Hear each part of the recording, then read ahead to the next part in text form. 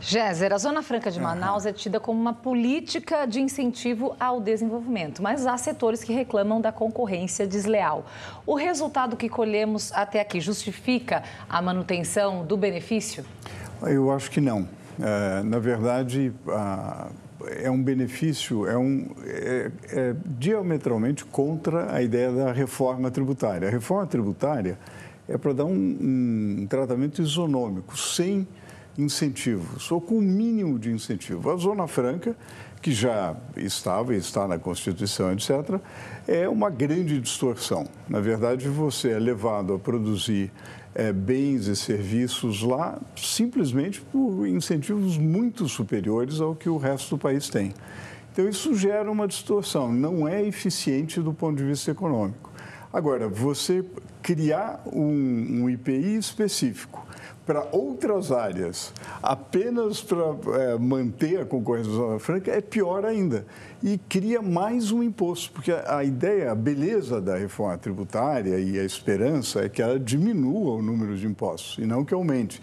Ela já tem um regime de transição em que as empresas vão ter que conviver com dois sistemas paralelos. E agora a gente tem mais um imposto específico. Eu acho uma distorção. Eu acho que a, a, Amazônia, obviamente, assim como todas as regiões, tem que ser desenvolvida. Há maneiras de. Há, a bioeconomia, a economia circular, é, uma, uma série de, é, de questões ligadas à tecnologia, ligadas ao combate à mudança climática, que poderiam estar na Amazônia, ser um grande hub tecnológico em prol da inovação acabam não sendo desenvolvidos em prol de algo que é completamente obsoleto e distorsivo. Professor, na sua opinião, em quais outras soluções para o desenvolvimento da Amazônia seria possível apostar?